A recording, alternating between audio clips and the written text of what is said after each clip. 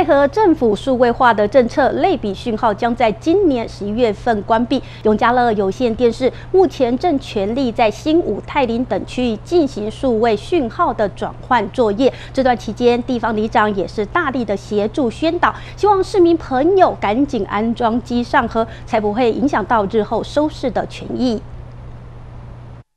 配合中央数位化重大政策推进，新北市政府近期要求有线电视业者需加速进行，而大新庄地区有不少地方已陆续看到业者进行宣导，如跑马灯或是文宣公告，就希望民众赶紧安装机上盒，以免影响到日后的收视权益。我们配合新北市政府的这个数位化政策，哈，我将在一百零六年关闭这个类比的这个。讯号哈，所以我们在这边要提醒我们中亚点乡亲哦，如果家中还没有安装这个数位化那个的乡亲哦，尽早安装这样子。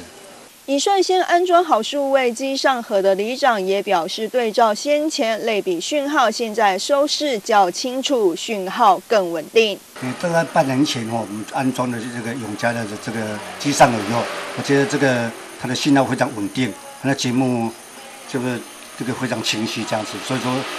还是再度提醒还没安装的乡亲哦，尽早安装这样子。再次呼吁尚未安装或是还在观望的李明，赶紧去电在地有线电视业者的客服部，让他们尽早安排时间为府上装好数位机上盒。记者新庄采访报道。